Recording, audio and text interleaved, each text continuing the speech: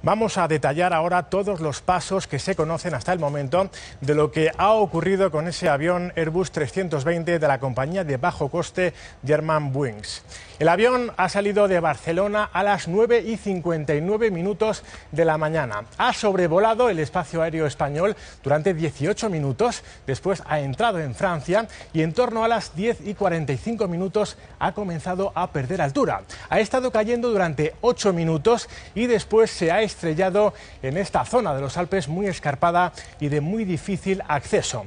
Durante ese tiempo ha habido, no ha habido finalmente llamada de emergencia por parte de los pilotos. En la zona del accidente se ha puesto en marcha un gran, un gran, un gigantesco operativo de rescate. Aquí lo están viendo, 300 militares, 350 bomberos, 10 helicópteros y un avión militar, pero también gendarmes de alta montaña y allí precisamente ahora mismo tenemos, como decíamos, a Guillermo Pascual. Guillermo, cuéntanos cómo se está desarrollando todo este operativo.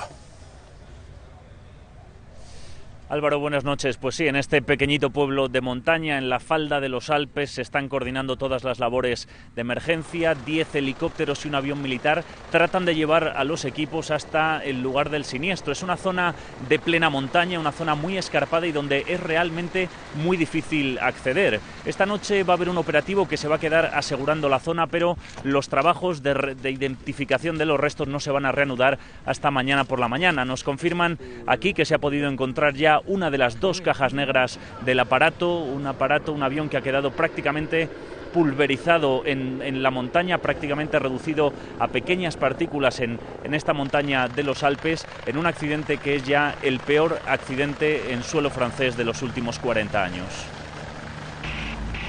Un avión en mil pedazos. Un vuelo sobre la zona del accidente permite descubrir que el aparato se ha desintegrado. Apenas quedan enteros algunos trozos del fuselaje, no más grandes que un coche.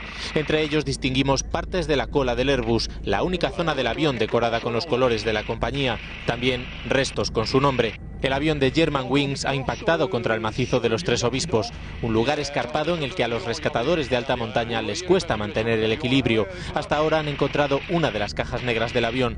Todo hace pensar que no hallarán supervivientes. Durante unos segundos vi el avión volando muy bajo. En cuanto lo vi pensé que se iba a estrellar porque estas montañas miden 3.000 metros. No podía ser de otro modo. Es la montaña, es empinada, es muy difícil andar por ahí.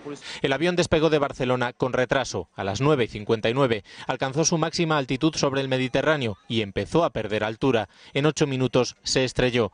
A las 10.53 se recibe el último dato de ubicación en un radar francés. Los pilotos no emitieron mensaje de socorro. Fue una torre de control la que lanzó la alerta al no recibir respuesta de la tripulación.